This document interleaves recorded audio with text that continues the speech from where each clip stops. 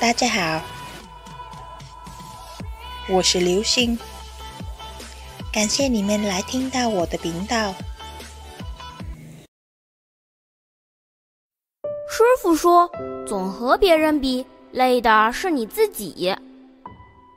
我们似乎一出生就活在比较里。小的时候，被父母拿来跟别人比，比谁的成绩好，谁会的东西多。谁更安静，谁更乖巧，谁更懂礼貌？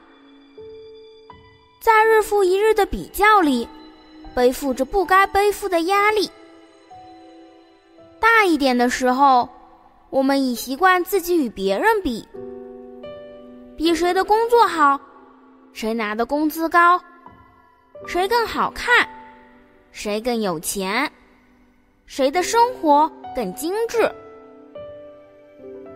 因这种种的比较，生出了万千不定的心思，一次次打乱自己该有的人生规划，去追逐那些别人有而自己没有的东西，最终越来越累，迷失在追逐里，忘记本来属于我们自己的美丽。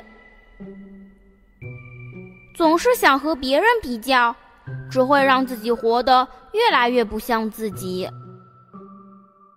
有时候，我们往往因嫉妒而去攀比，不知不觉就开始追逐一些本不需要的东西，和自己原来的方向背道而行。何必去羡慕别人拥有的东西？每个人都是独立的个体，有不一样的追求和目的。与其时刻看向别人。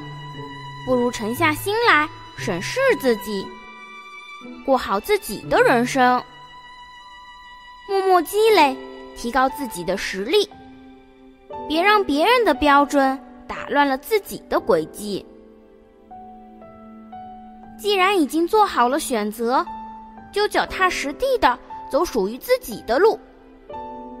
终有一天，你不需要和别人比较。就能体会到成功的意义。我是一禅，每晚八点在这里等你。希望一禅的话能给你带来一些温暖与平静。晚安。